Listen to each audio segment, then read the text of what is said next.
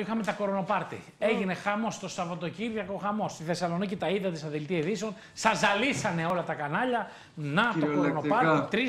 3.000 άτομα στη Θεσσαλονίκη. Χαμός με τα κορονοπάρτι εκεί. Το θέμα εδώ πέρα είχαμε εκτός του Σαββάτου.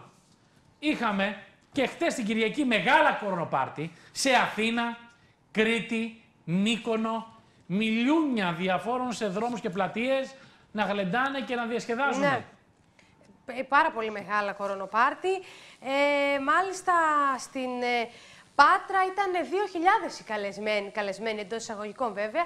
Υπήρχε και DJ, υπήρχε και καντίνα για να προμηθεύονται τα ποτά τους. Τα βλέπουμε και τα πλάνα τώρα, ναι. Και ε, ε, φυσικά έγινε και απίστευτο μποτιλιάρισμα στους δρόμους, καθώς καταλαβαίνουμε ότι 2.000 άτομα μαζεμένα σε ένα κεντρικό ε, σημείο στην Πάτρα Δημιούργησαν τεράστια Εδώ βλέπουμε γενικώς, έχουμε ξαναλέμε. Στην Πάτρα είχαμε στη Μύκονο τα άλλα τα πάρτι. Στη Μύκονο ήταν ένας πάνω στον άλλον. Παντού ο ένας πάνω στον άλλον.